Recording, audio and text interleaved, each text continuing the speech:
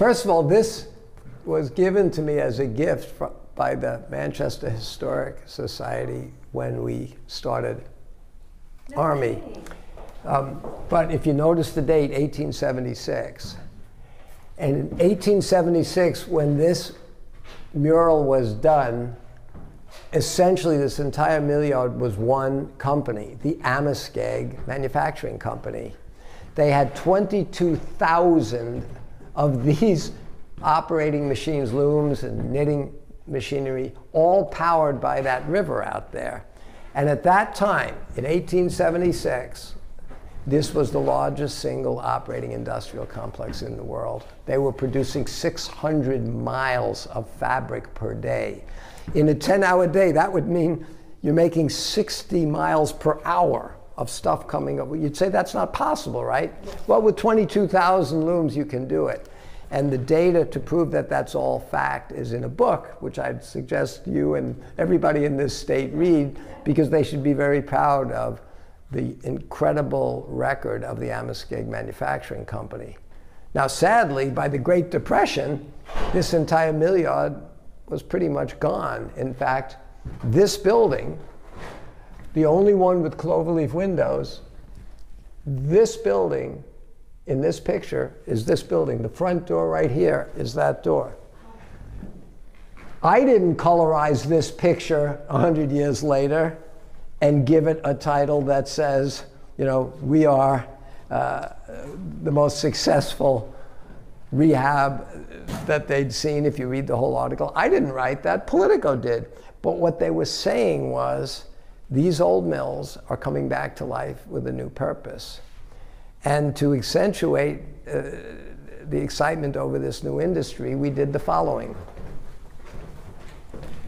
This was a picture done about 110 years ago. You can see by the dress.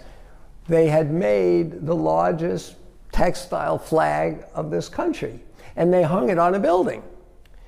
The day that we launched ARMI, I have a beautiful auditorium that we built next door on the top floor, and I had our governor, mm-hmm.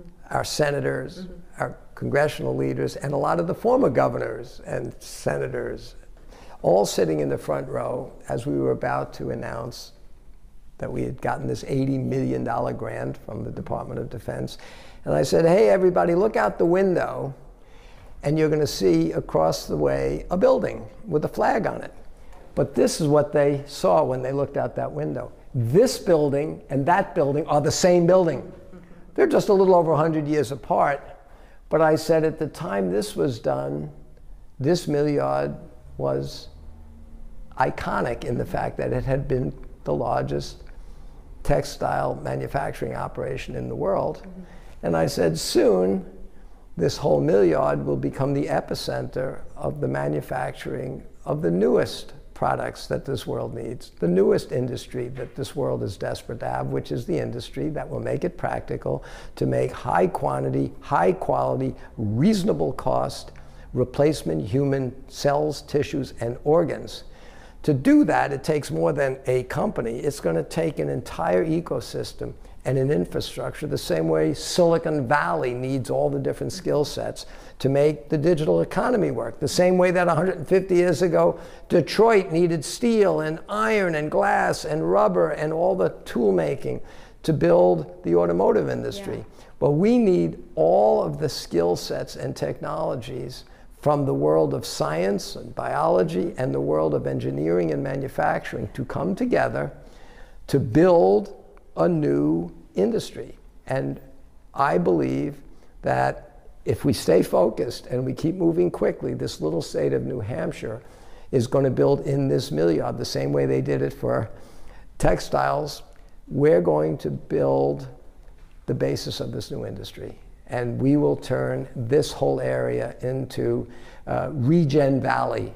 Let California have Silicon Valley, we'll have Regen Valley. Um, while these things are amazing, they're now becoming a commodity. For a few hundred bucks, you too can have one of these.